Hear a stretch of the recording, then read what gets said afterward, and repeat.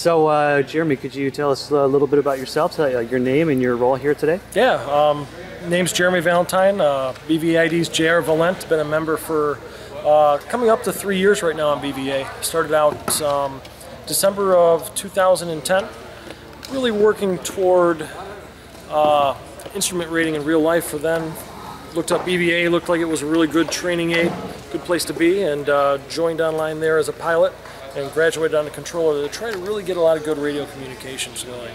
Um, to get rid of a little bit of mic fright that I had in real life, get a little bit more confidence on frequency, and BVA seemed to be the place to be. Fantastic. Could you show us your system here today? Uh, yeah, this is actually Dan Perrone's system, but it's set up one and the same. This is what a controller screen usually works, looks like.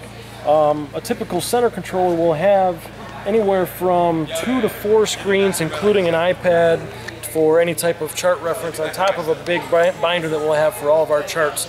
We try to mimic what we uh, what the real live controllers do as much as possible. All controllers go through a rigorous training um, regimen, going from our ground controller uh, rating all the way up to a center controller rating.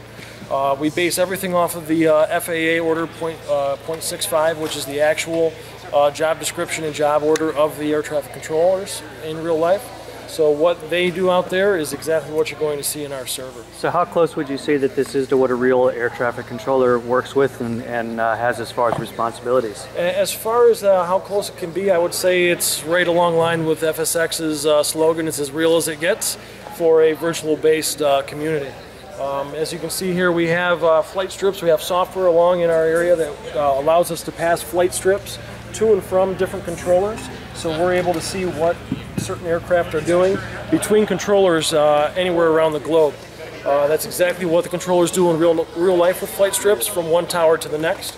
Uh, we have our main radar screen, which allows us to see any of the aircraft that are in the server at any given time. That radar screen displays an aircraft's position, track, altitude, and their squawk code, so we know if the aircraft's flying VFR or IFR. And then also something that the real controllers don't necessarily have is a third screen where we usually keep an internet browser up where we can pull up charts, any other type of information that we might be able to find via the internet. And on top of that, we run some uh, additional ADA software on that screen and another uh, software called TeamSpeak where we kind of simulate the controller landline where we can contact controllers off of frequency and make sure we're able to coordinate with them. Great. Can you talk about how somebody could get involved with this?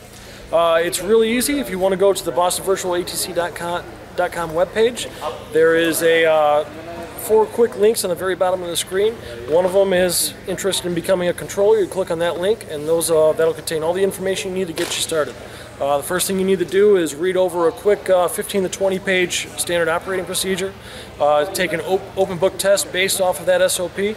And once you uh, pass that test, you'll be contacted by one of the uh, air traffic controller mentors to begin your training on frequency. That's great. Thank you, Jeremy. Thank you, Chuck.